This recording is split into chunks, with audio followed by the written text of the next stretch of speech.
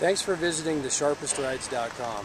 We recently doubled in size and occupy most of the 1900 block of West Warren Avenue.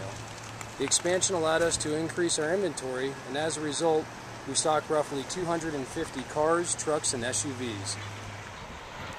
We offer the lowest prices in town by keeping our overhead lower than the competition. We're located in Englewood on the edge of an industrial area. We didn't pay $50 million for our building just so we could be on a main road. You won't find marble floors or TVs in our bathrooms either. You buy from any other dealership, these things are incorporated into the sale price.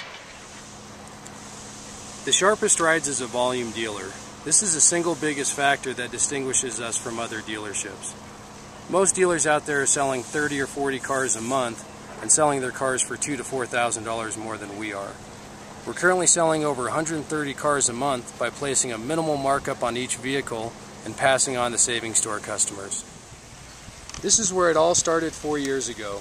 We used these two buildings as our sales office, finance department, showroom floor, and picture bay.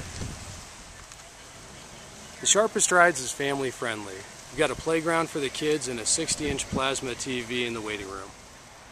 And this is where we shoot all the videos and photograph the vehicles.